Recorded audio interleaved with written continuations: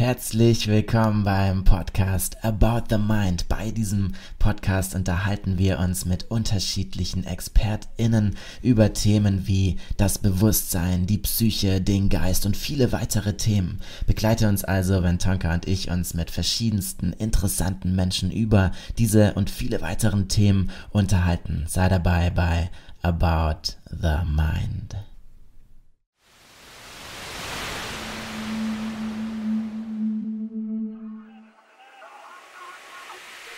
Herzlich willkommen zu About the Mind. Heute sprechen wir mit Gil Barr. Gil ist gebürtiger Frankfurter, war aber schon überall auf der Welt. Über einige dieser Stationen sprechen wir auch mit ihm, aber auch darüber, was er mit seinem Unternehmen Avaleaf so tut. Bei Avaleaf geht es um medizinisches Cannabis. What?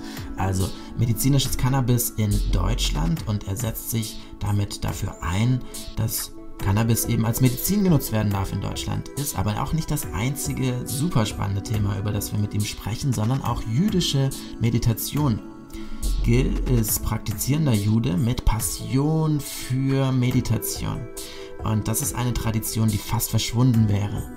Und was er dafür tut, dass das eben nicht der Fall ist, sondern im Gegenteil diese Tradition wieder auflebt und weiter verbreitet wird, darüber sprechen wir mit ihm. Ich will jetzt aber auch nicht zu viel verraten, daher hört euch gerne dieses Gespräch an. Viel Spaß dabei. Herzlich willkommen, danke Gil für deine Zeit, danke, dass du dir Zeit genommen hast.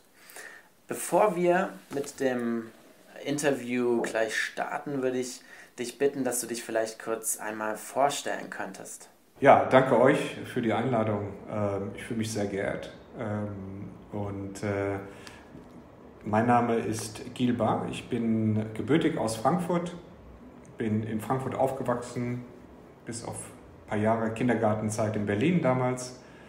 Ähm, und äh, lebe in Frankfurt mit meiner Familie im Norden der Stadt und äh, war, bin seit zehn Jahren wieder zurück, habe Frankfurt nach meinem Abitur verlassen, äh, bin in die große weite Welt, damals in die Hotelwelt eingestiegen, äh, mit einem Studium bei der Hotelfachschule Lausanne und durfte dann dort ähm, in meinen Hotel Hotelieraufgaben und der Ausbildung weltweit herumkommen von Schweiz, Frankreich, Mexiko. Äh, das war alles sehr spannend.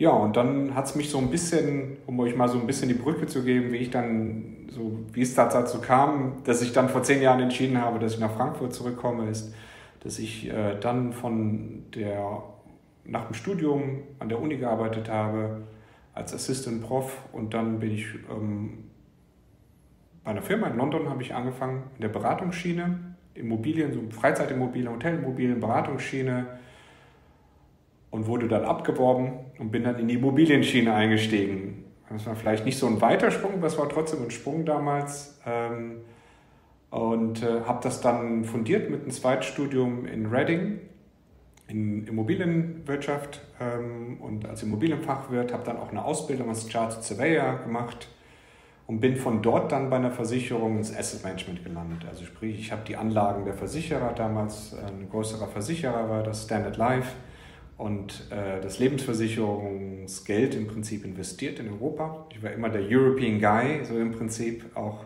bei meinen ersten Jobs auf der Insel.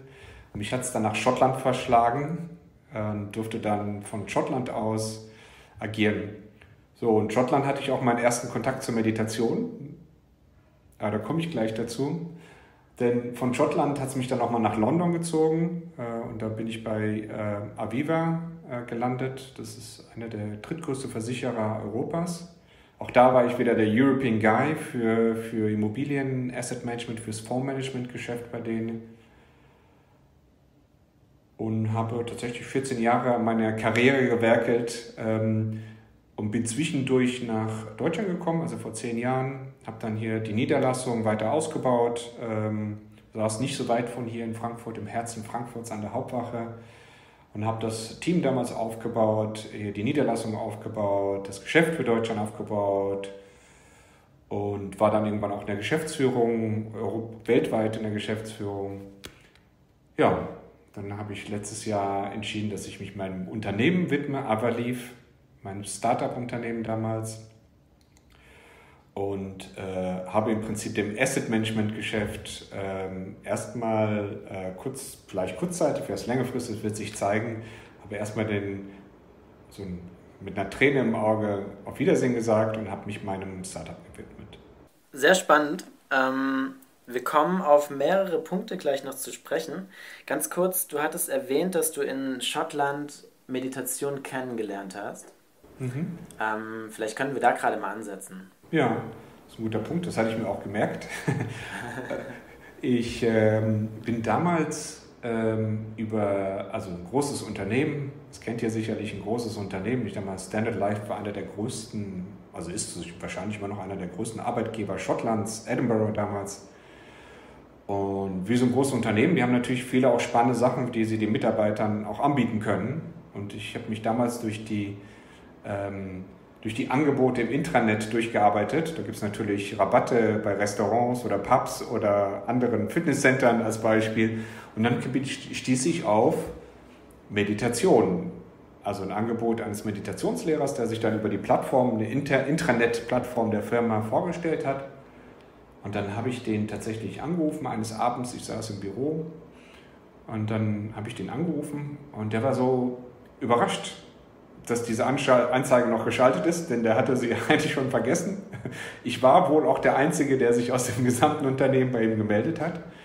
Und wir kamen uns irgendwie gleich am Telefon über die Stimmen ähm, energetisch gleich sehr gut zusammen und habe dann mit der Meditation losgelegt. Und das war sehr spannend. Ähm, ich bin durch ihn an die Meditation gekommen, ähm, bin ihm sehr, sehr dankbar. Miles heißt er, wie ein bekannter Musiker auch. Äh, und äh, wir kamen uns sehr nah, auch persönlich. Wir kannten uns dann, er kannte meine Familie. Unsere Tochter wurde dann ja auch geboren, unsere erste Tochter. Er war dann öfters bei uns zu Hause. Wir haben zu Hause meditiert. Anfänglich, und das war auch sehr spannend, wurde die Meditation also sehr getestet, denn wir haben meditiert im Unternehmen selbst, in einem Meetingraum. Jetzt, wie man es kennt, vielleicht für die, die in Unternehmen arbeiten, ist zwar hat man einen Meetingraum gebucht, trotzdem schafft es immer wieder jemand aus dem Unternehmen reinzuplatzen in den Meetingraum. also wir saßen in diesen in den Meetingräumen und wirklich grundsätzlich neun von zehn Mal ist jemand reingeplatzt und immer wieder. Und wir haben uns immer wieder getestet und es war ein guter Test, denn irgendwann mal, ich glaube, das war so nach einigen Monaten, hat er zu mir gesagt, ich glaube, du bist bereit, dass wir rausgehen zu meditieren in die weite Welt. Denn du hast dich zum ersten Mal nicht durcheinander bringen lassen, dass ein Kollege einfach reingestürmt ist in den Meetingraum, sondern du bist ruhig geblieben, hast kurz genickt, Augen aufgemacht, gesagt, wir, haben noch, wir brauchen noch zehn Minuten, Augen zugemacht und weiter meditiert. Und das war so dieser Punkt, der ist mir wirklich im Kopf geblieben. Das war für mich so ein Umschalter, da ist mehr dahinter. Äh, und wir haben dann Gehmeditation im Freien gemacht, in der Natur meditiert, bei mir zu Hause meditiert. Ähm, wir haben uns aufgenommen, Meditation. Äh, ich bin damals sehr, sehr viel gereist und konnte immer wieder die Meditation tatsächlich auf meinen Reisen sehr viel testen. Ich war the European Guide, das heißt, ich hatte in Kontinentaleuropa ähm, sehr viel zu tun. Das heißt, immer wieder äh, drei von vier Wochen war ich unterwegs, äh, immer mit einem Umsteigen in, in London oder Birmingham äh, oder Paris und, und hatte sehr viel Zeit im Flieger. Und die habe ich tatsächlich immer, denn mein Flug hat immer mit einem Gebet angefangen, ein Reisegebet für die Reise und eine Meditation. Und das war wie so ein, wie so, wie so ein, ein ja, das war ein Habit, den ich mir antrainiert habe, für den ich sehr dankbar war. Und ähm, was für eine Art Meditation war das damals für dich? Hm. Ja, so einen Namen konnte ich dem damals nicht geben. Ich habe ihn auch nie gefragt. Ich habe mich mit dem Thema Meditation nie, also so jetzt von der, von der akademischen Seite, nie befasst vorher. Ich fand das einfach spannend. Ähm, Im Nachgang, ich hatte ihn damals in London mal kurz getroffen, der hatte irgendwie einen dreimonatigen Aufenthalt in London, war dann auch bei uns zu Hause.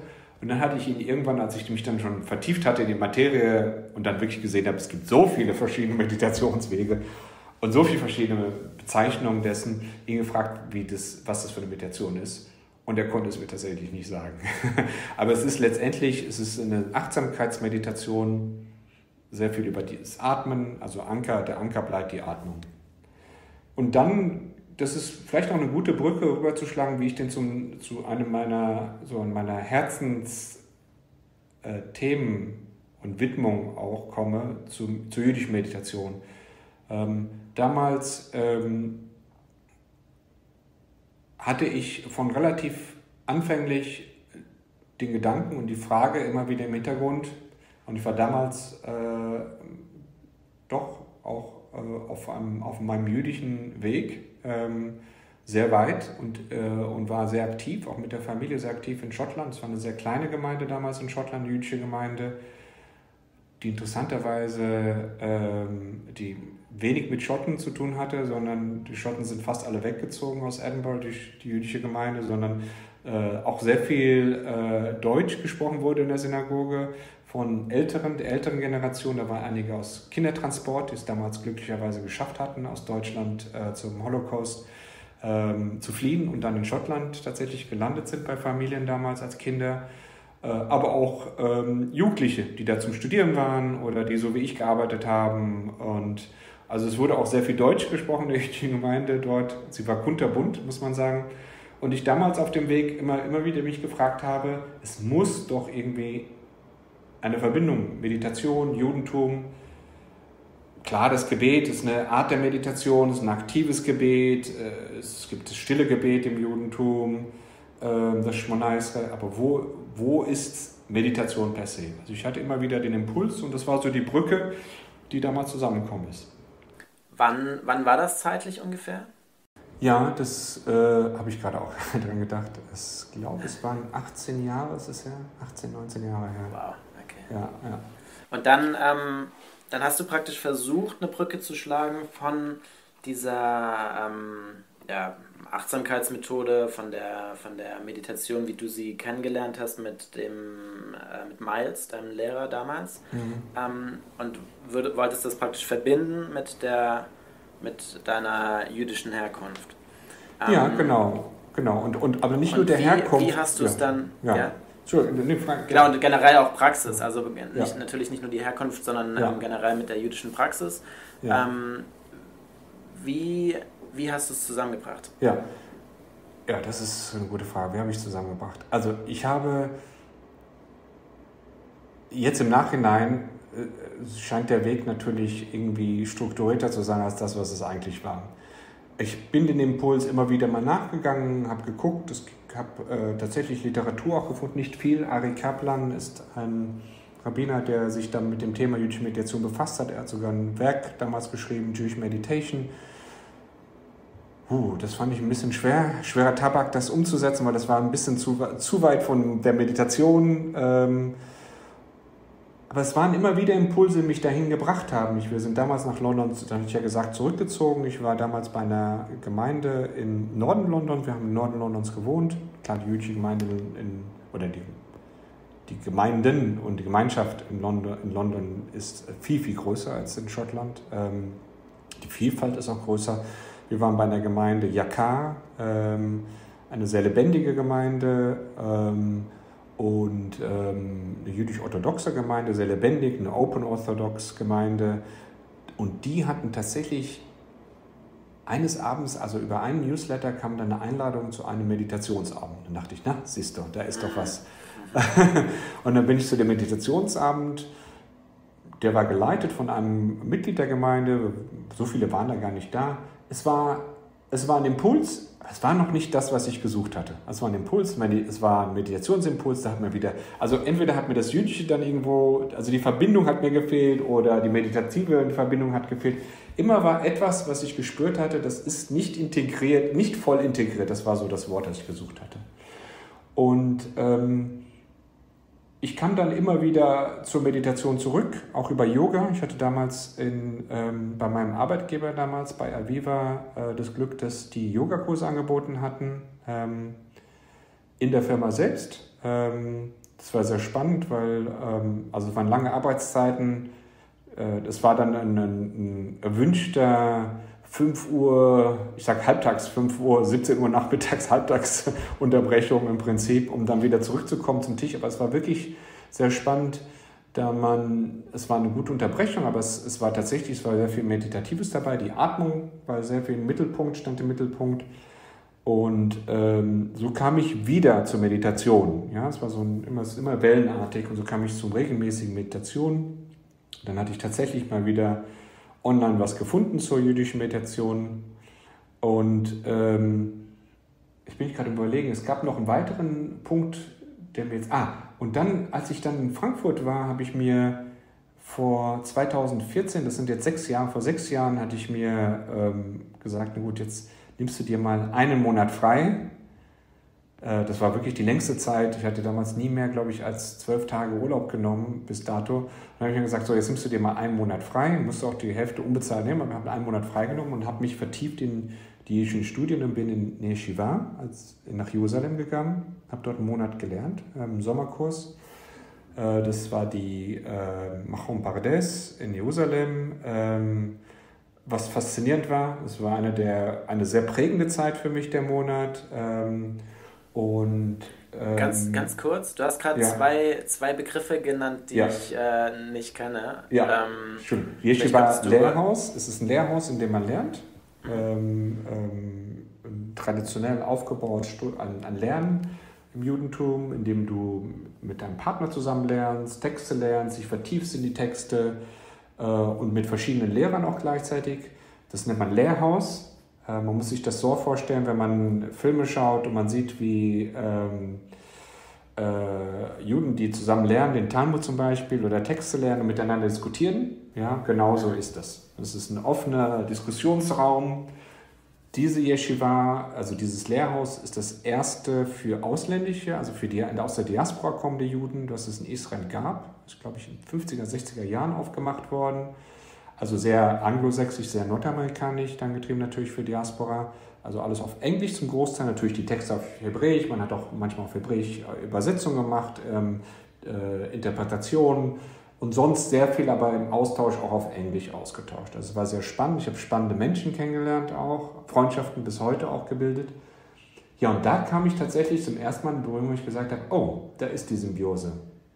Es kam eine Dame ähm, einmal zum, zum, das war ein Nachmittagsvortrag, das war jetzt nicht ein strukturiertes Lernen oder nicht unbedingt textbezogenes, aber es ging, sie ist selbst Therapeutin, orthodoxe Jüdin, ähm, fromme Jüdin und sie kam und hat äh, als Therapeutin einfach über therapeutische Arbeit im Judentum und im Text gesprochen und, und fing ihren Vortrag an mit einer Meditation. Und dann dachte ich, oh, wunderbar, da ist sie. Da ist die Symbiose. So, das war das eine. Dann gab es einen Lehrer, Rav, Rabbi Feuer, Mike Feuer, äh, faszinierender Mensch, sehr vielfältig, auch archäologisch sehr bewandert, geschichtlich sehr bewandert, ist Lehrer. Ähm, und äh, er hatte zum ersten Mal meditative Strukturen in das Gebet selbst mit eingebracht. Also auch sehr viel aus Sufi. Er hat sich mit Sufi-Meditation sehr viel auseinandergesetzt und hat geschaut, gibt es hier irgendwelche Punkte, die es auch im Judentum gibt. Den hatte ich zum ersten Mal damals beim Gebet beobachtet mit meinem damaligen Kumpel Jason Kravitz, ehemaliger Berater von Barack Obama Ah, und äh, ja, ich war also auch sein Trauzeuge bei der, bei der Hochzeit und wir waren immer, wir waren Buddies so im Prinzip ähm, bei der Yeshiva und wir haben ihn beobachtet beim Gebet. Also, was macht er da? das ist, er betet, aber er betet irgendwie anders. Da ist so eine Tiefe und der war wirklich, also der hat sich von nichts erschüttern lassen. Und wenn Krach draußen war und Bewegung und er war so tief in seinem Gebet drin und ich dachte, da ist mehr dahinter. Da sind wir natürlich gleich zu ihm hin und haben ihn gefragt, bei Feuer, What are you doing there? What was this? Und dann hat er uns erzählt und wir meditiert und das stille Gebet. So, und da hat, ich würde sagen, das war so der Hauptimpuls, wo ich gesagt habe, okay, da ist sie, da ist, da ist mehr dahinter. Ja, es hat natürlich gebraucht, bis ich dann tatsächlich diese, diese Verknüpfung gefunden habe. Und die Verknüpfung kam letztes Jahr äh, mit einem Retreat. Ähm, den ich in England gemacht habe, durch ähm, die Bewegung Oralev. Oralev ist eine jüdische Bewegung, die sich auf jüdische Meditation, eben genau textbezogen, gesangsbezogen, Meditation, die eben genau das Meditative und die Meditation aus dem Judentum nach vorne holt. sie fundiert, sie zeigt, aufzeigt. Der war auch ein Experte für chassidische Gesänge, also Gesangsmeditation, sehr viele Mantras, die gesungen werden. Nigun, Nigun ist so ein Mantra. Ich könnte mal eins vorspielen, wenn es euch interessiert, damit ihr so ein Beispiel hört, was so ein Nigun ist, äh, was man YouTube hört und wie so eine, eine Bewegung, wo man dazu schaukelt, der sich immer so wiederholt, eine Melodie, ähm, die man immer wieder ähm, singt und mitsingt und den Text dazu. Der Experte war da und er war zum ersten Mal, würde ich sagen, die gelebte Symbiose von beiden. Ja, das Judentum ist strukturiert, es waren äh, vier Nächte, also für viereinhalb Tage waren das, äh, stille Meditation, also silent, äh, mindful Jewish Meditation. Wie, wie war dieses Retreat oh. aufgebaut? Ja, also wie, war, wie war der Alltag so? Sehr still.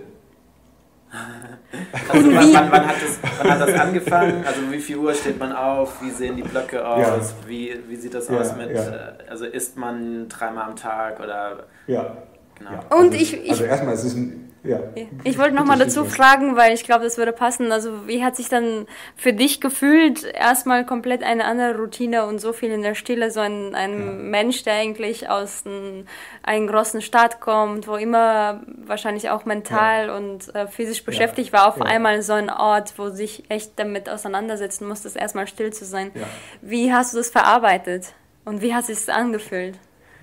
Wow, also Oh, sehr viel, sehr viele Emotionen, die wieder. Und ich danke euch, weil ähm, das ist wirklich eine Erinnerung, die natürlich sind Erinnerungen, die verblassen natürlich schnell, aber die sind verinnerlicht. Also, ähm, ich habe lange mit vielen gesprochen. Ich habe damals zu der Zeit, letztes Jahr, einen, einen Kurs angefangen über. Mm, der ging um. Ähm, mit einem Rabbiner, mit dem ich heute auch noch äh, ähm, zum Teil lerne, Rabbi Daniel Silverstein, selbst in der jüdischen Meditation aktiv, äh, orthodoxer Rabbiner, äh, auch Hip-Hop-Sänger übrigens ähm, und Meditationslehrer auch, äh, lebt jetzt in Jerusalem. Sehr spannende Persönlichkeit. Mit ihm habe ich letztens einen Kurs über Kabbalah, aber der erst, egal. Also es war ein Kurs, ich glaube, es ging auch um Kabbalah, kabbalistische Ansätze im Judentum. Und ähm, also und über ihn bin ich zu dieser Vereinigung Auralev gekommen, habe gesehen, das was in UK und dann habe ich gesagt, das, dann muss ich, das ist da, dann muss ich schauen, was es ist. Also ich bin da hingekommen, habe mich vorher natürlich Fragen gestellt, sich Fragen gestellt. Ich war dann vor Ort, es ist ähm, eine, äh, also erstmal Essen, ja, ist eine jüdische Veranstaltung, Essen Essen gehört zum Judentum. Es ist ähm, ein wichtiger Bestandteil des Judentums. Ich komme auch gleich dazu, warum eine Essensmeditation ein sehr wichtiger Bestandteil des Judentums ist. Nicht nur wegen der Feste und wegen der Gemeinschaftlichkeit, die immer wieder auch durch Essen gekennzeichnet ist, sondern es hat eine wichtige zentrale Funktion auch. Ähm, also Essen gab es. Ähm, es, wurde, es ging morgens relativ früh los, 6 Uhr. Ist nicht so meine gängige Zeit, jetzt besonders wo die Kinder auch älter sind. Ist nicht mehr so eine gängige Zeit, um 6 Uhr aufzustehen mit einem Gong. Also kein Wecker, kein Kings. Handys sind ausgeschaltet, natürlich auch so im Silent Retreat. Äh, ich hatte Zimmernachbarn, spannende Personen.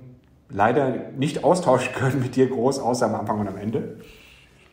Aber die Realität, also die, die Tatsache ist, wir sind morgens aufgestanden, haben uns fertig gemacht und dann gab es zwei äh, ähm, Streams. Eine war direkt in die stille Meditation erstmal ähm, äh, und dann äh, oder dann äh, ähm, Qigong. Äh, Qigong, ja. Entweder das oder das.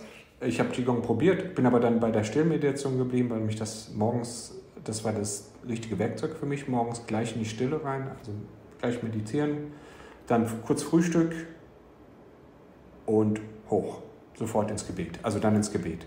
Und das war ein, also das war ein sehr spannender, weil man wirklich mit einem anderen Ansatz ins Gebet geht.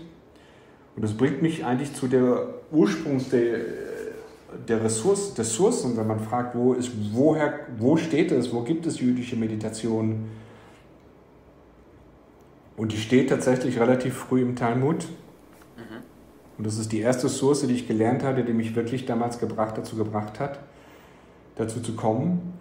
Äh, da steht drin, dass die Rabbiner äh, damals, und das ist relativ im Brachot 5, also relativ einfach, das ist das erste Buch, der erste Traktat auch von im Talmud in der Mishnah, Brachot 5.1 steht drin, dass jemand soll nicht im Stille in sein Gebet einsteigen, außer er hat ein, eine, eine gesetzte, geerdete Einstellung oder grounded mind. Ja? Und die Weisen haben eine Stunde gewartet, bevor sie ins Gebet eingestiegen sind. So, was haben sie getan? Man weiß, man hat Texte gefunden, auch von Rabbinern aus der Provence, die tatsächlich eine Stunde lang, da stand geatmet in den Texten, was ich mitbekommen habe. Also es sehr viel weist auch früh schon, dass es die Meditation ein wichtiger Bestandteil, so ein Grundpfeiler im Judentum ist. Und diesen Text hat mir damals der Rabbiner, der uns sehr nahe steht, Rabbi meiner, meiner Frau und mir und ähm, damals in London uns auch begleitet hat und ins Prinzip uns, seit, seitdem ich, äh, seit den letzten 25 Jahren im Prinzip kenne ich den Rabbiner Jeremy Rosen, eine Persönlichkeit in London, der jetzt im Ruhestand, also ruhig ist er nicht, der hat, auch da ist er aktiv in New York. Und der hat mich auf diesen Text schon damals, auch das jetzt wieder so ein Impuls, der gerade hochgekommen ist, total vergessen gehabt, dass der mich eigentlich vor 24 Jahren auf diesen Text hingewiesen hat und gesagt hat, was meinst du, haben die Rabbiner, ohne dass ich damals meditativ unterwegs war, immer wieder gefragt, was meinst du, haben die denn da gemacht, dass sie so still saßen? So, und, und das ist tatsächlich so, das ist diese Stille, also diese Stille, das Atmen, das sich setteln und loslegen, das ist ein wichtiger Bestandteil. Da komme ich gleich hin, wenn wir dann weitersprechen. So, um zurückzukommen ganz, ganz kurz, um das, um das historisch hm? einzuordnen, wie alt ist der Text? Ungefähr. Äh, ja gut, also äh, der Verfasser des, des Talmuds, äh, Rabbi Yehuda Hanassi, hat das im dritten Jahrhundert in Israel, äh, äh, und das ist ja eine Zusammenfassung aus verschiedenen Texten, die diskutiert wurden, bei bolonischen Zeiten auch äh, zusammengefasst. Den Text selbst nicht, aber wir reden hier natürlich mehrere Jahrhundert alt. Ja, also wir gehen hier zum, zu, ich meine, zur, zur, zu relativ anfänglichen des gelebten, regelmäßigen Gebets im Judentum über. Ähm, und ähm, ja, so von der Zeit her. Vielleicht nur ganz kurz zum Retreat, weil ich da wieder den Bogen spannen wollte auch. Ähm, ähm, so, beim Retreat war es dann tatsächlich, dann ging es in die, so nach dem Gebet ging es dann wieder in die, also in Stille und äh, stille Meditation, dann wurden ein paar Übungen gemacht, dann wurden ein paar äh, Meditationsansätze. Man hat das erstmal über die Atmung, das Anker, immer wieder das Anker gefestigt, geübt, trainiert, dann mit Gesängen noch immer wieder was dazu, dann tatsächlich also Gedanken folgen, lassen, Raum lassen, spüren, Atmung, ähm, äh, Gehmeditation war auch ein regelmäßiger äh, Bestandteil, also in der Natur draußen. Essensmeditation haben wir auch gehabt, nicht so viel. Ähm, aber das war ein Bestandteil, Essensmeditation. Also war sehr viel verschiedene Gesangsmeditation, die verschiedenen Wege im Judentum, was, was du, also die gängigen, wenn du willst, Mindful Meditation, was, was man nennt ja auch Mindful Meditation, sind alle fest verankert im Judentum, ähm, bis hin zu verschiedenen Rabbinern, komme ich auch gleich dazu, und Büchern, die dazu geschrieben wurden. Also es, die Meditation ist auf vielen Stufen tief verankert im Judentum. Und das habe ich über dieses, diesen Retreat und danach weitere Kurse und weiteres Lernen und Vertiefung aus. Immer weiter bin ich dahinter und entdeckt auch, dass das so tief ver verankert ist, dass es eigentlich in irgendeiner Form nach vorne gebracht werden muss. Denn es ist leider äh, auch äh, äh, gestorben im, zum Holocaust. Es gab tatsächlich mehr Rabbiner. Äh, der letzte, der das sehr aktiv äh, betrieben hat, war ähm, ähm, den Rav Shapiro. Äh, das war der Warschauer Ghetto-Rabbiner, der bis zu seinem Tod, bis zum Ende noch eine, eine orthodoxe Gemeinde im Ghetto unter all den Schwierigkeiten und den Verboten, die es gab, bis zum bitteren Ende durchgehalten hat. Und der hat alles niedergeschrieben, ähm, war sehr meditativ unterwegs, hat Leuten mit Fragen, ich meine, Gottesgläubigkeit in so einem Umfeld, wo man sich fragt, wo ist Gott? Wer ist da? Wer, wer, wer lässt sowas zu? Und diese Fragen, sich damit auseinanderzusetzen bis zum bitteren Ende, Äh, und diese Texte dann aufzuschreiben äh, und seine Reden aufzuhalten, um die, womit er die Leute noch wirklich auch greifen konnte, hat es vergraben und es wurde dann nach dem Krieg dann ausge es wurde entdeckt in Polen von, oh, wow. einer, von einer Dame, die dort gewohnt hat. Die hat diese Texte dann Nachkommen gegeben, der hat es dann wieder und es verfasst und heute gibt es Bücher, ein, zwei Bücher von ihm. Auch das ist, ist, ist, ist leider verloren gegangen und ich glaube, da ist eine Wichtigkeit, weil es ist so eine tiefe Verankerung, dass man sich das heute in vielen, auch in, den jüdischen Gemeinden, ja, auf meiner Seite im Prinzip, wenn ich bei mir in der Gemeinde oder unterwegs bin, dass die erste Frage ist, wo steht das? Woher kommt das? Wirklich? Ist es echt so? Und das ist verständlich, denn wenn man ohne damit aufwächst und, und äh, niemand hat, der ein Lehrer ist dazu, äh, umso mehr umso mehr sehe ich heute eine Wichtigkeit, dass man, im Zen-Buddhismus sagt man auch, shine your light in your corner. Ja, so äh, eine Wichtigkeit und das sehe ich so bei mir auch als, ja, so eine, auch einer meiner Aufgaben. Ich glaube, eine Verantwortung, die ich entdeckt habe, für mich eben das doch in, in die jüdische Gemeinde reinzubringen, aber auch nach außen, um zu zeigen, dass es ein fester Bestandteil ist. Interessant. Also ich hatte so viele Fragen, weil ich hätte dich gefragt, okay, was stand so genau in dem Text? Warum hat Gott denn es zugelassen?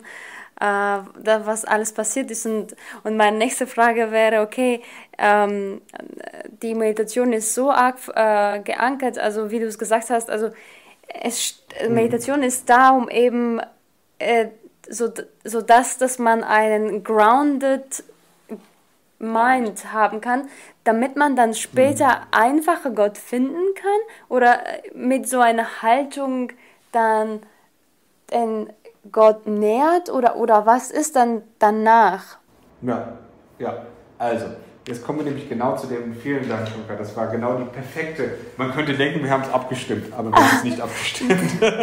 also kommt die perfekte, das ist der perfekte äh, Überleitung.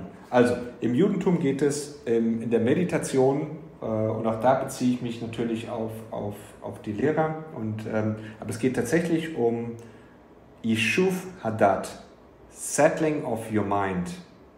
Das ist der erste Schritt. Ja?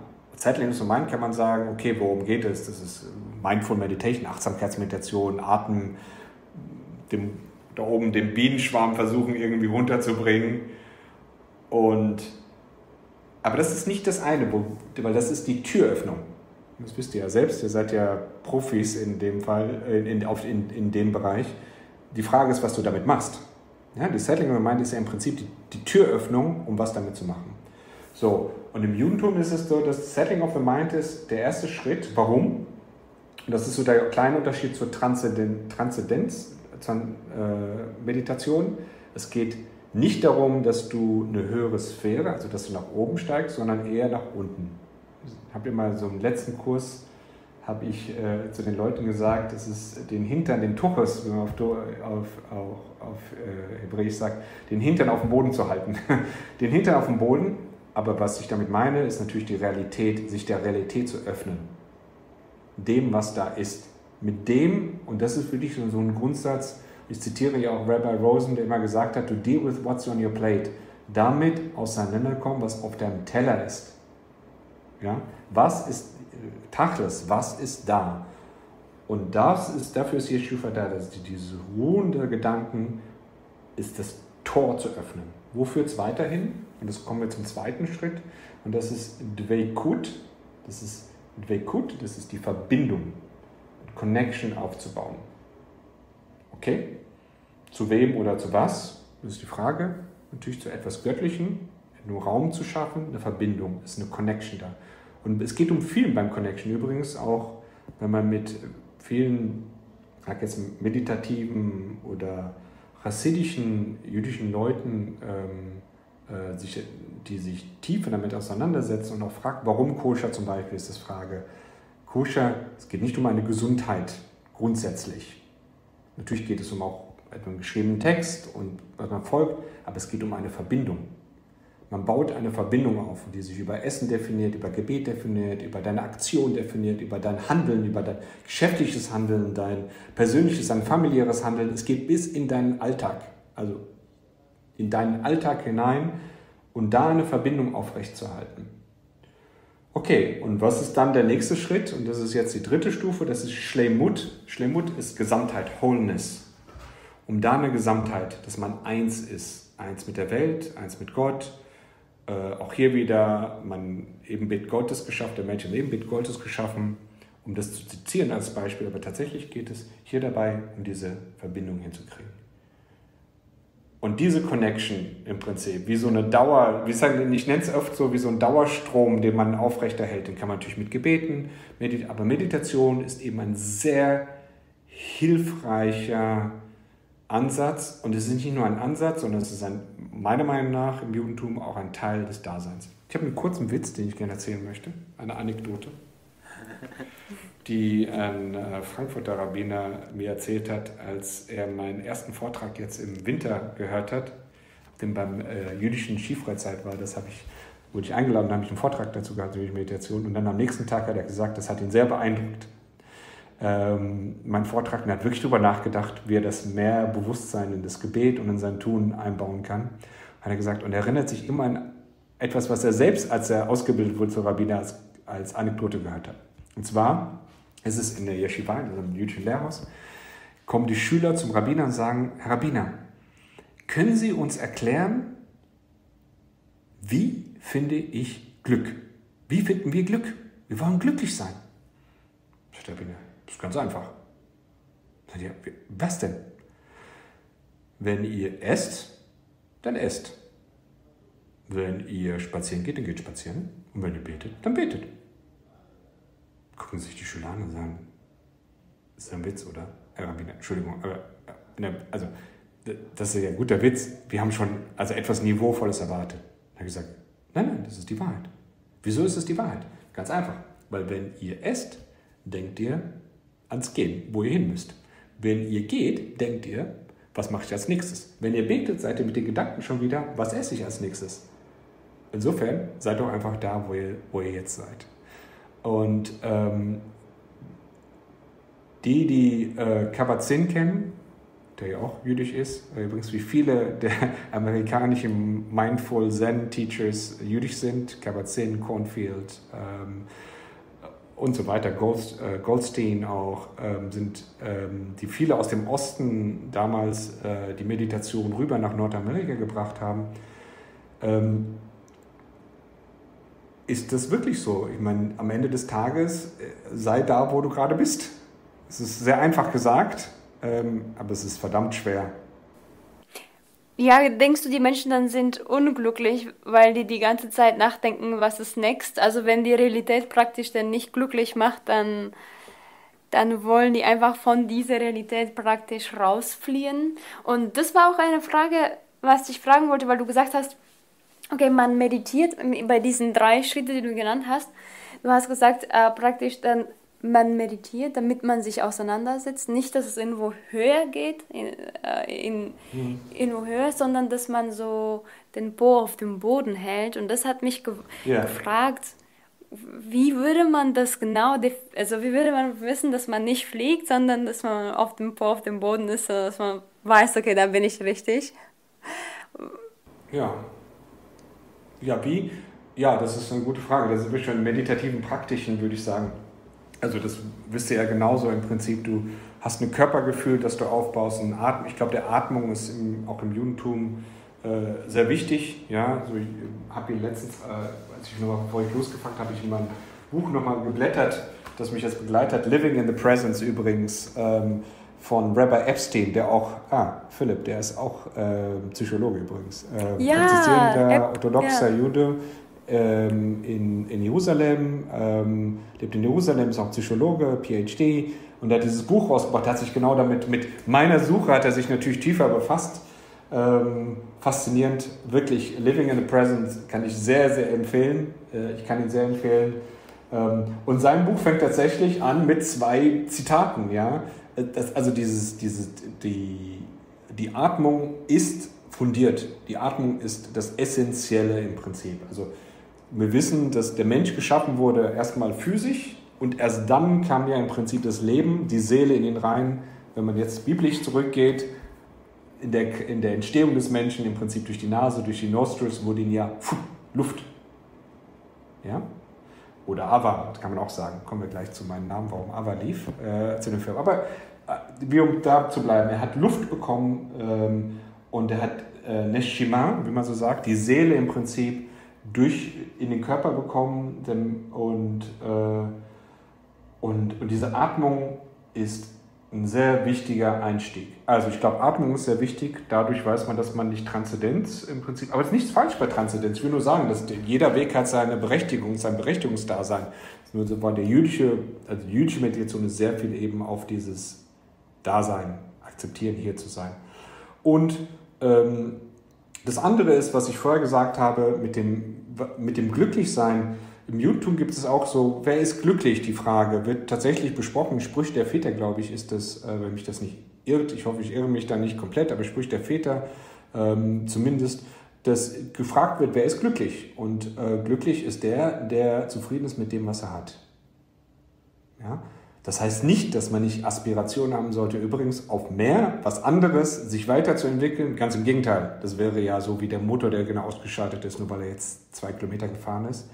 Sondern, dass man erst aus diesem Moment, also wie wir gesagt haben, die Schufa hat die Gedanken sind gesetzt, man ist gesetzt, man realisiert, hier bin ich. Das habe ich. Das ist meine Aufgabe. Das ist mein Teller. Hiermit arbeite ich gerade. Und aus dem Moment kann man erst wachsen. Weil wenn man oben ist und versucht über das Wachsen und sich nur aufs Wachsen konzentriert, rennt man etwas hinterher, ohne, zu, ohne im Prinzip zu wissen, wo man ist.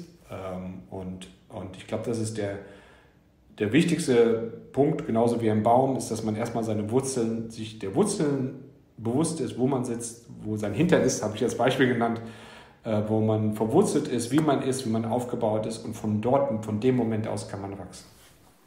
Ich fand, ich fand ganz interessant diese Schritte, die du genannt hast. Die sind nämlich, mhm. da gibt es auf jeden Fall Parallelen zu anderen Meditationstraditionen, beispielsweise im Buddhismus. Also als ersten Schritt dieses Setting of the Mind oder ein Grounded ja. Mind ist praktisch das gleiche wie Shamatha-Meditation, also bei der wir erstmal mhm. ähm, beispielsweise mit dem Atem einfach nur ähm, den Geist sozusagen trainieren, präsent zu werden, weniger abgelenkt zu sein um dann im nächsten Schritt damit zu arbeiten.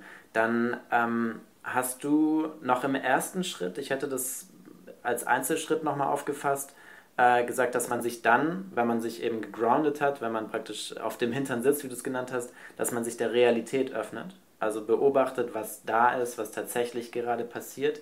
Das wiederum wäre Vipassana-Meditation, Einsichtsmeditation oder auch Achtsamkeitsmeditation. Ja. Und dann der nächste Schritt, die Verbindung zum Göttlichen. Also wenn man das Göttliche vielleicht auch mit, mit ähm, Liebe oder sowas gleichsetzt, dann könnte das Metta-Meditation sein, dass man mhm. ähm, praktisch äh, aus, aus diesem ruhigeren, klareren Geist, der versteht, was jetzt tatsächlich da ist, ähm, äh, da als nächsten Schritt eben sich dem öffnet und dann den dritten Schritt, den du genannt hattest, war, dass man dann feststellt, dass man eins mit allem ist. Und das, mhm. das passt, finde ich, ähm, zu Shunyata. Ich weiß nicht, ob du das kennst. Ähm, das kenne ich nicht. Mehr. Das, das wird auch die Leerheit genannt. Das ist praktisch okay. nicht, keine, keine Unabhängigkeit, ähm, also dass es praktisch keine unabhängigen ähm, Existenzen gibt, dass alles eben tatsächlich irgendwie eins ist miteinander.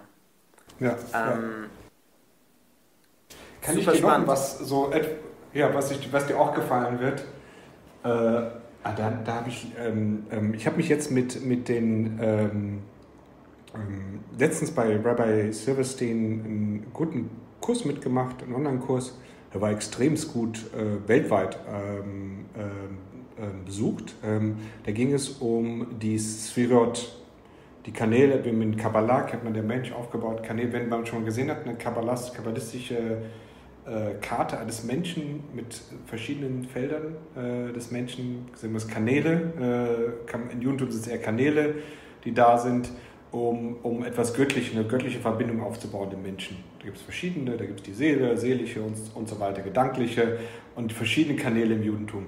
Und ähm, das ist ein Thema, das ich bis jetzt nur immer sehr angeschnitten hatte. Ich habe ja eben diesen Kurs äh, gemacht, da kam etwas unpassend, weil wir gerade mit dem Startup richtig losgestartet sind und ich ziemlich äh, wenig Zeit hatte. Ähm, aber das war sehr interessant, denn ich hatte mich ähm, letzten Sommer mit Chakren auseinandergesetzt, die ähnlich angelegt sind. Vielleicht etwas weniger von der Anzahl, ähm, aber sehr ähnlich angelegt sind. Und es gibt sehr viel Ähnlichkeit. Und, das, und was ich sagen wollte damit ist, dass es eben so viel im Judentum gibt zu dem Thema, dass es ist meiner Meinung nach wert, das weiter auszugraben. Weil es ist tatsächlich im Moment noch vergraben zum Großteil. Äh, es ist wert, das auszugraben. Es ist wert, das nach vorne zu bringen. Äh, es ist ähm, äh, insbesondere auch für jüdische und nicht-jüdische ähm, Leute wichtig und, und hilfreich, sich damit auseinanderzusetzen.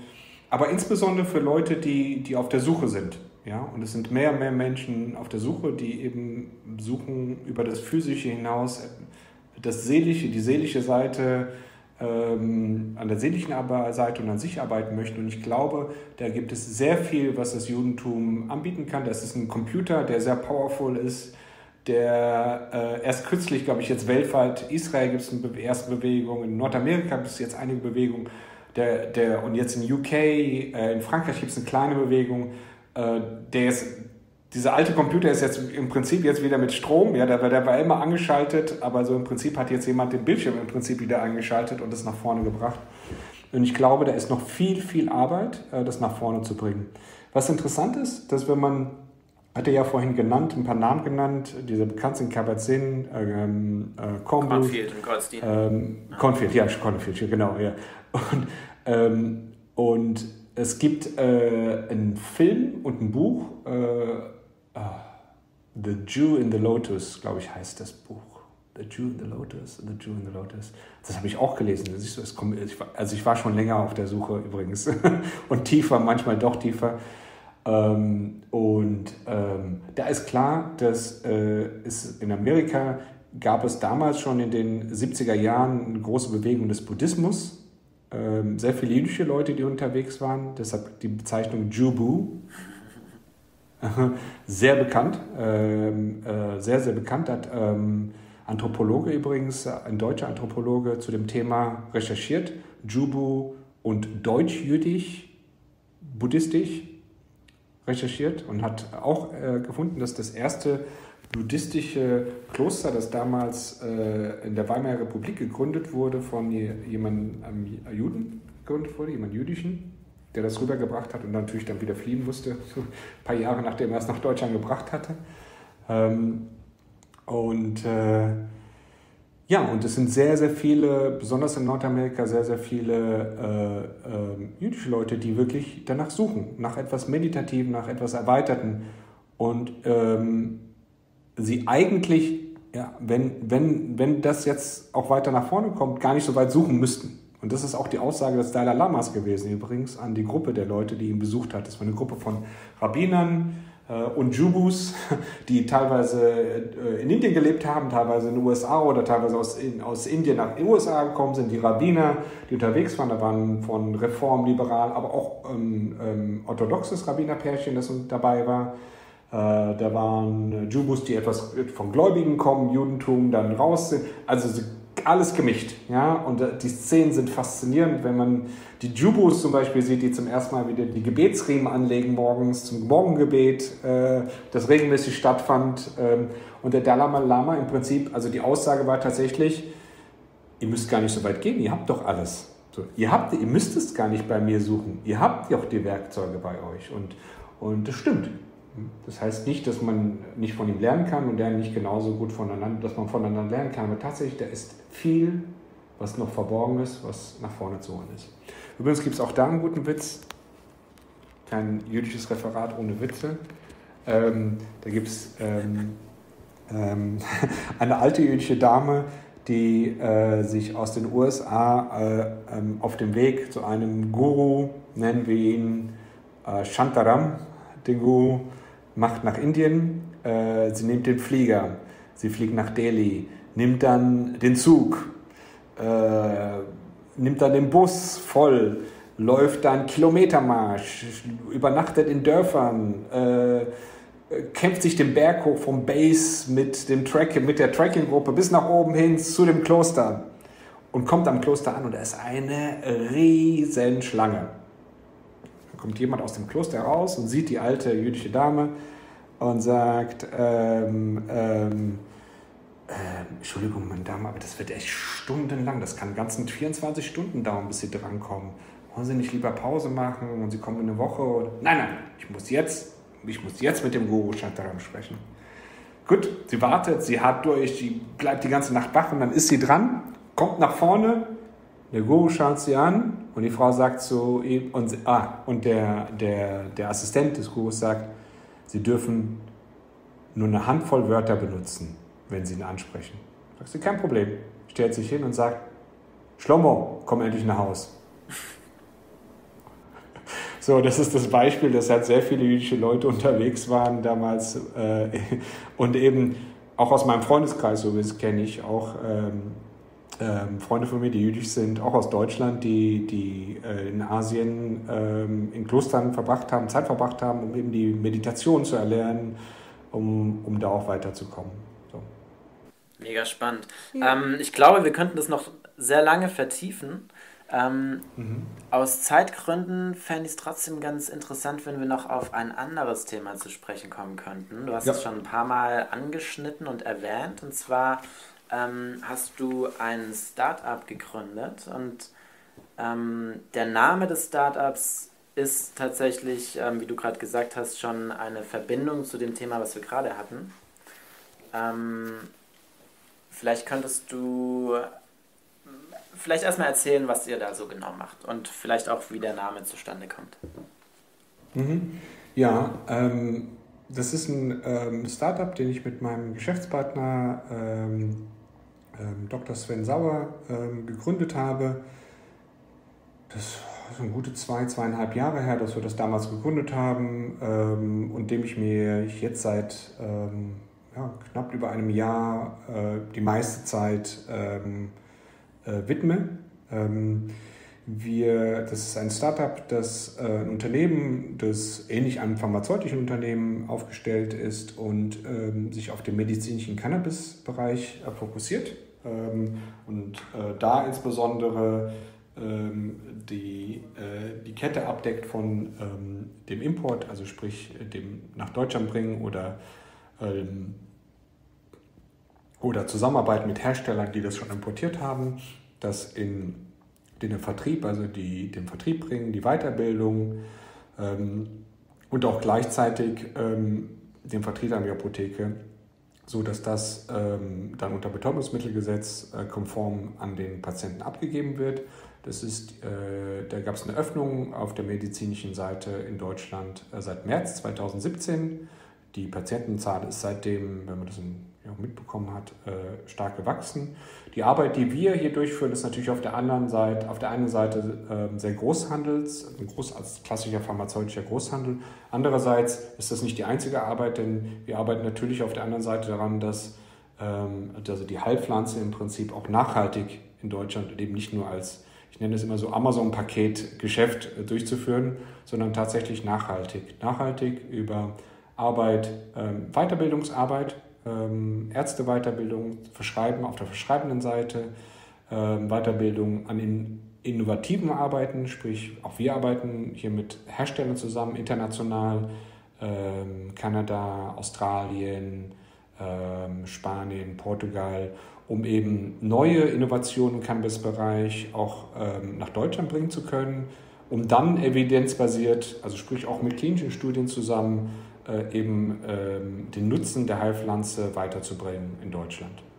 Ähm, ich selbst bin noch, nebenbei habe ich vor kurzem ähm, eine Ausbildung angefangen zum Sachverständigen für Cannabis-Medikation und hoffe mir hierdurch auch eine gewisse Zusammenarbeit, tiefere Zusammenarbeit mit Ärzten äh, und auch Apothekern äh, und Verbänden natürlich auch ähm, ausbauen zu können, um tatsächlich hier den Nutzen, medizinischen Nutzen des Cannabis nach vorn zu bringen. So, dann kann man natürlich die Frage stellen, was hat das mit jüdischer Meditation zu tun? Denn das ist ja der Titel des Podcasts. Sehr viel. Ähm, aber wichtig ist vielleicht erstmal, dass ähm, Cannabis, medizinisches Cannabis im Judentum koscher ist. Das ist koscher. Der Nutzen dieser Heilpflanze ist im Judentum bekannt, lange Zeit schon bekannt. Äh, Cannabis ist zu biblischen Zeiten, Tempelzeiten schon bekannt. Ähm, es, kürzlich wurden sogar in der Nähe von Tel Aviv, Tel Arad, glaube ich, war das, ähm, bei der archäologischen Ausgrabung bei einem, also einer Synagoge, eines Gebethauses, auf dem Altar Residuen von Cannabis gefunden. Also es ist auch, äh, und das ist nicht die einzige Source, aber es ist eine wichtige Source, denn hier ist es klar zeigen, dass es auch im Gebet in irgendeiner Form eingesetzt wurde. Es ist wahrscheinlich nicht der Form, die wir heute kennen. Es ist kein Vaporisator, der eingesetzt wurde bei jedem Einzelnen, aber es hat auf jeden Fall, es ist eine Öffnung, es ist ein Werkzeug, das eingesetzt wurde in irgendeiner Form, um, um, um hier auch äh, äh, bestimmte ja, unterstützende Arbeit zu leisten. Ähm, das ist eine. Das zweite ist, es ist auch ein Werkzeug auf der medizinischen Seite, um komplementär, weil es doch, es ist ein ein Naturprodukt, ist ein Agrarprodukt, ist ein Wirkstoff medizinisch, aber es ist ein Agrarprodukt. Und das öffnet natürlich auch Arbeiten, die ganzheitlich, und das weißt du, Philipp, ja auch aus deiner Arbeit, ähm, eben Prävention, aber auch wenn man dann schon mit in der Medikationsphase ist oder Arbeit ist mit den Patienten, eben sich zu öffnen anderen Wegen und anderen Werkzeugen. Und das ist wichtig, denn ähm, das Pflaster alleine ist ja nur so das Wehwehchen, wir das kennen aus Kindheitstagen, es wird schon wieder gut. Donker, wir hatten früher gesprochen, es wird schon. Und das Pflaster ist ja nur so eine oberflächliche Hilfe, um dann weiterarbeiten zu können. Und tatsächlich, die Arbeit bleibt beim Patienten, das finde ich auch sehr wichtig dass der Patient hier immer wieder, wo es möglich ist, dass der Patient immer wieder ihm die Möglichkeit gegeben wird, an sich zu arbeiten, andere Werkzeuge hinzuzunehmen. Und da spielt die Meditation eben doch eine wichtige Rolle, finde ich. Ähm, ich finde auch hier medizinischen Nutzen ist Meditation absolut essentiell. Ich glaube, ähm, ähm, Salesforce hat letztens auf, war das in jeder Etage in San Francisco, in dem Gebäude, man kennt das Pyramidengebäude in San Francisco, auf jeder Etage einen, einen Meditationsraum. Wow. Wahnsinn. Also, Wahnsinn. Ich finde es faszinierend, dass es das gibt. Ähm, dass es schön ist, man Infrastruktur baut. Natürlich muss es auch genutzt werden. Genauso wie man Infrastruktur, man stellt ein Mittel her oder ich sage mal jetzt Cannabis als Wirkstoff oder für den Patienten tatsächlich am Ende des Tages muss es genutzt werden und gearbeitet werden. Und das ist, das ist, ist meiner Meinung nach bleibt der Patient irgendwo, wenn man mit ihm zusammenarbeiten kann, ja, auf der Meditationsbasis oder jetzt über über ähm, sagen wir, Gesamt, also Cannabis als Medikation zum Beispiel, es bleibt immer so ein Türchen offen, dass man dem Patienten wieder so die Eigenverantwortung zurückgibt. Und ich glaube, das ist auch so eine Herzensangelegenheit von mir. Ähm, das würde ich gerne weiter ausbauen, ja, weil ich glaube, das ist sehr wichtig. Dem Patienten ermöglichen die Eigenverantwortung. Was er damit macht, ist eine andere Sache. Heißt ja auch nicht, dass jeder das nutzt, aber es, man gibt ihm die Möglichkeit. Ja? Wie hat das mal ein Arzt, äh, der im Klinikum arbeitet, gesagt? Ihr sagt dem Patienten, nicht gleich zu Anfang, aber relativ früh irgendwann, übrigens, eure Verantwortung gebt ihr nicht bei der Garderobe ab, wenn ihr hier reinkommt. Ähm, es ist tatsächlich immer wieder, auch daran zu erinnern, ist eine Eigenverantwortung da. Und ich glaube, Meditation ist, wir kommen immer wieder zu deiner Frage, Tonka, was macht Glück? Was hilft? Was hilft? Ja, also wer heilt, hat Recht. Und ich würde sagen, aber erstmal zur Heilung zu kommen, muss man tatsächlich jemanden auch näher bringen, näher ihm erlauben, sich näher zu nähern zu können, es ihm näher zu bringen äh, und es ihm vorstellen zu können, dass es hier viele Werkzeuge dazu gehört, Meditation näher bringt. Und ich glaube, jüdische Meditation, jetzt natürlich für jüdische, ähm, für die jüdische Gemeinschaft allgemein, es ist ein Werkzeug, das da ist, es ist nicht verloren, es ist schön, wir haben über Essen sprechen, konnten wir nicht sprechen.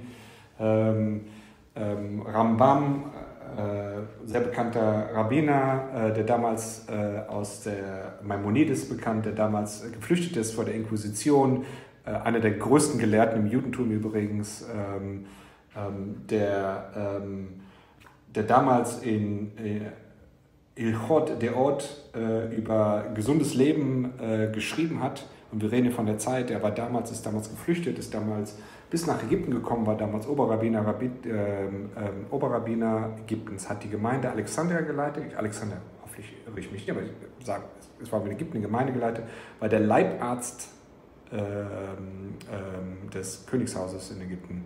Also es stand viel auf dem Spiel.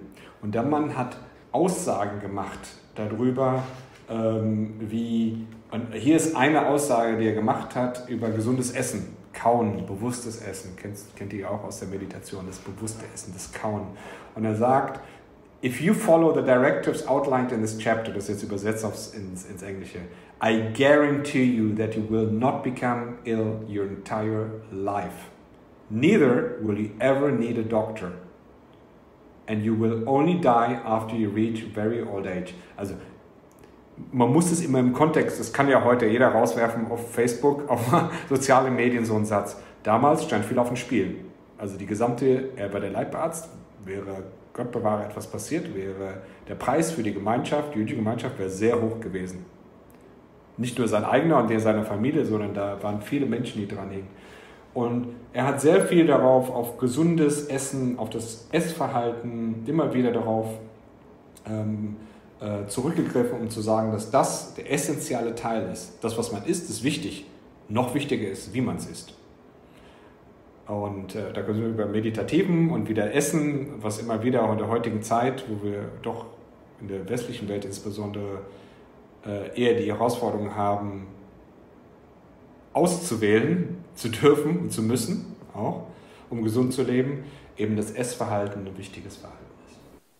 Das ist sehr cool. Das hat auch, glaube ich, auch, ähm, was du auch ge gesagt hast, dass, dass dieses Bewusstsein auch ähm, etwas zu konsumieren sollte da sein. Es ist genauso, glaube ich, mit Cannabis und wofür soll man das einsetzen, sollte immer erstmal klar sein für sich.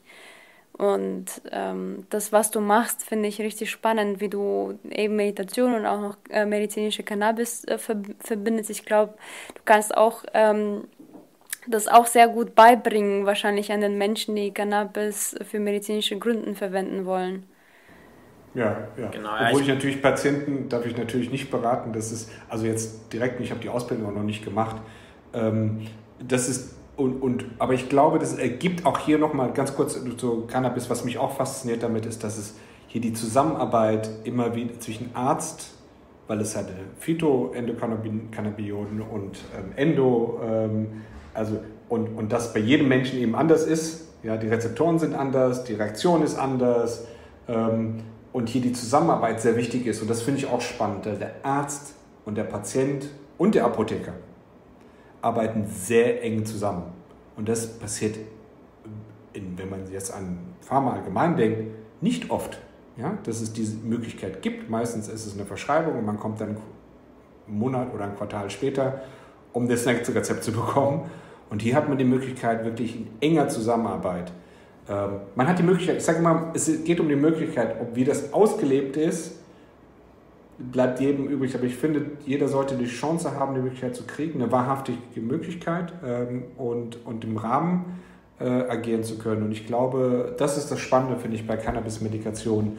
Ähm, und es ist nicht nur ein Startup. Ich sehe es nicht nur ein Startup. Es ist natürlich spannend und auch geschäftlich sicherlich.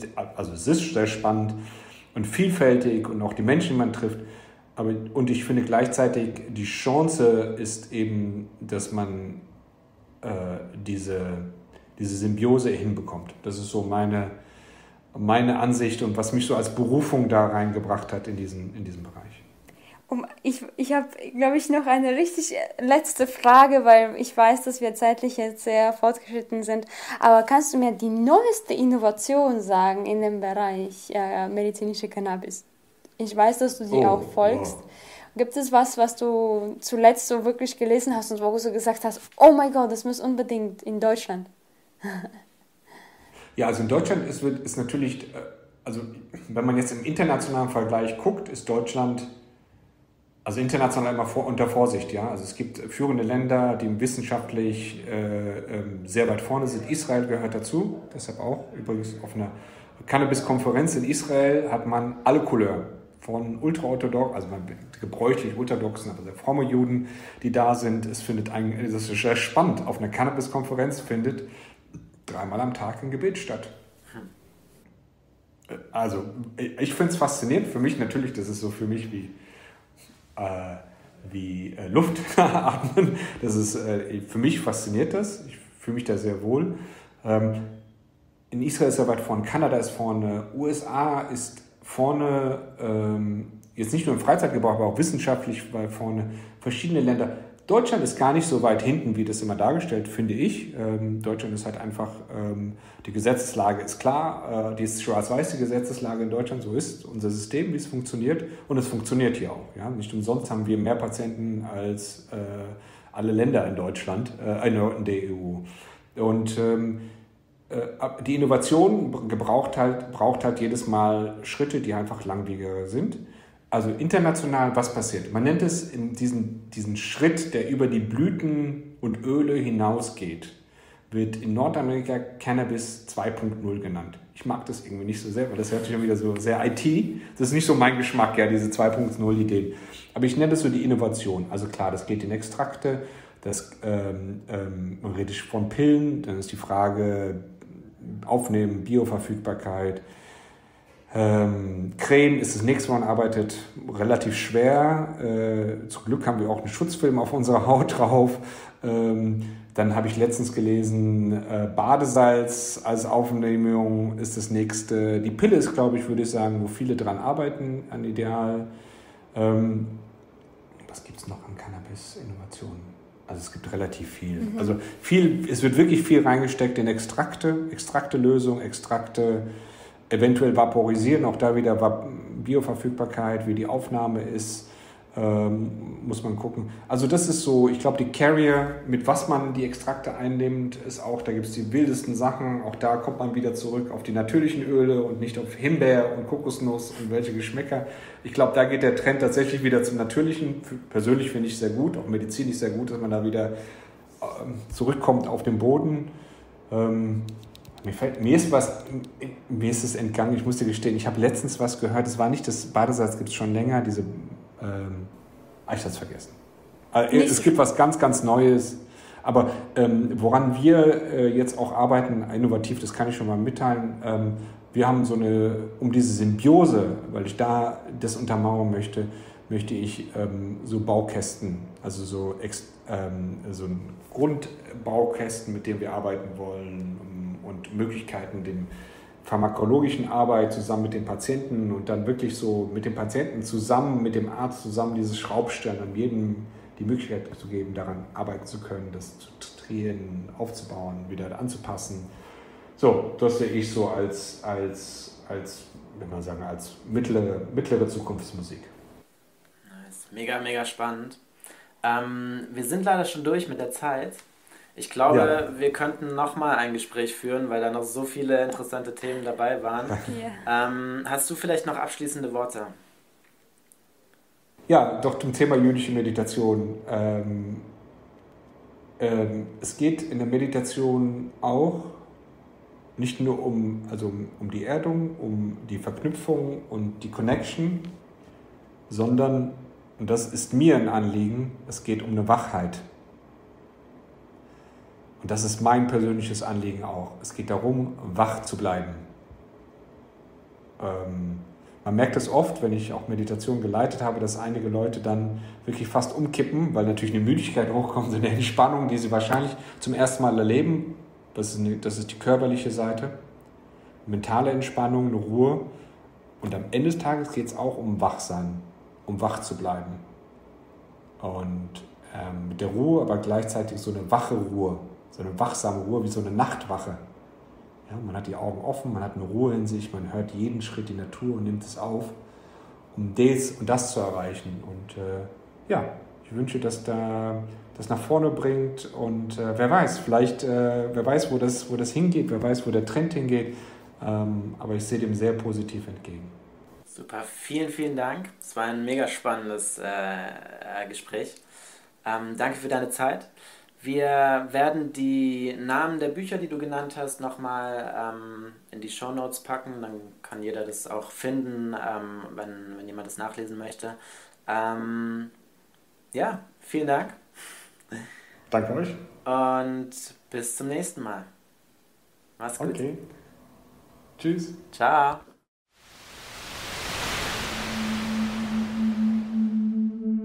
Danke für deine Zeit. Schreib uns, was dir gefallen hat und welche Themen du noch gerne hören würdest. Vergiss nicht, uns eine Rezension zu schreiben, die Folge mit Freunden zu teilen und den Podcast zu abonnieren. Wir freuen uns darauf. Danke und bis zum nächsten Mal.